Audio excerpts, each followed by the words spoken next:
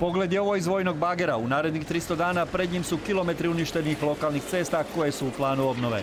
Sve ukupno 200 km nerazvrstanih makadamskih cesta. Model obnove u kojem Hrvatska vojska svojom mehanizacijom i vojnicima izvodi radove već daje vidljive rezultate. Gorivo financira županija, a hranu za vojnike lokalna samouprava. A u biti nas bi troškovi koji su prosjenjeni, znači da smo i mi normalno radili, bili bi neki oko 400.000 kuna, nas kao lokalna samouprava će doći možda neki 10.000 kuna.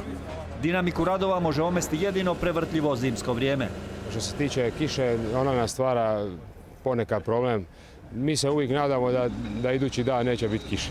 Cijeli posao obavlja vojska od mljevenja kamena i pripreme tampona, dovoženja i ugradnje. Nakon tamponiranja i valjanja od poplava potpuno uništeni lokalni putevi ponovno postaju prohodni i spremni za upotrebu lokalnog stanovništva. Dva ninska povijesna mosta još će pričekati. U tijeku su istražni radovi, no prvi rezultati pokazuju sanacija će biti itekako zahtjevna.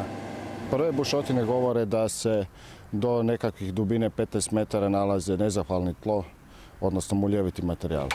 Čim se u narednih mjesec dana izradi projektna dokumentacija koju financira Ministarstvo kulture, kreće sanacija. Svaki most je bio neki oko 11-12 milijuna kuna. Epska poplava ostavila je dosta briga, muka i troškova. Za sanirati posljedice treba će još dosta vremena i prvenstveno novca.